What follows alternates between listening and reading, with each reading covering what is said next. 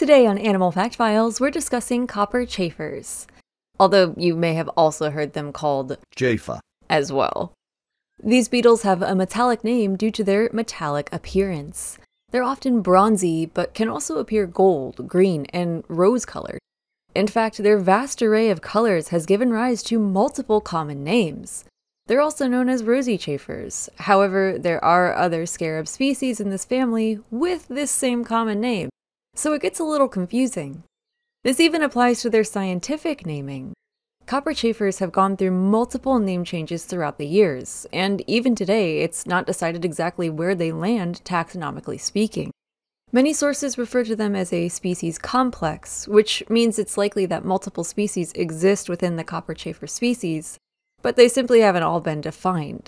It's similar to the Galapagos tortoise species complex we've discussed in a previous episode. Copper chafers have a broad range, which likely contributes to their differences. Populations that have been cut off from each other have changed over time to become different from one another. These beetles live throughout Europe and Western Asia, from Russia and northern China to the Middle East. With such a wide range, copper chafer beetles have adapted to a variety of habitats. They're commonly found in grasslands and forests, but they're equally at home in mountainous regions at elevations up to 2,000 meters. It's not uncommon to find them in grazing fields where they stick around livestock dung. They are scarabs after all. Some of the most famous scarabs are dung beetles, although copper chafers are well known throughout their range due to their brilliant hues. These beetles are diurnal, meaning they're active during the day, and they're skillful flyers. They can maneuver around tree branches and shrubs to reach flowers where they'll sip on nectar, gather pollen, munch on fruit, and occasionally snack on other insects. This makes them both pollinators and, unfortunately, agricultural pests. While foraging, they often move between flowers and trees, helping to pollinate plants along the way. But when wildflowers dry up in late summer, these beetles turn to ripe fruits for sustenance, which can lead to problems for farmers.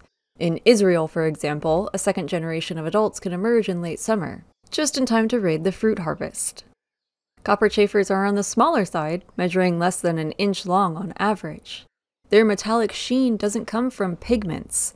Instead, these insects have microscopic structures in their exoskeleton that reflect light in different ways, producing the beetle's iridescent colors. Not only do these structures shimmer in sunlight, they also make the copper chafer's exoskeleton stronger.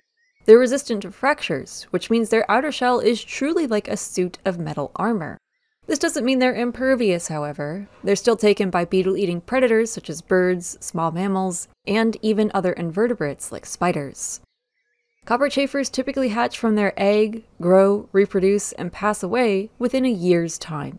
Although in some parts of the world they can have two generations in a single year. The larvae primarily eat decaying wood, especially oak trees, and a female may lay her eggs accordingly to ensure her offspring are near this food source. Of course, their differences even run as deep as their life cycle.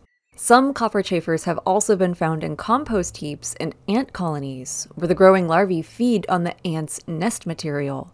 How this impacts the ants is still being studied. If you've enjoyed learning about copper chafers, consider joining our Patreon with Dad, Spike Spiegel 93, and all the adventurers listed here.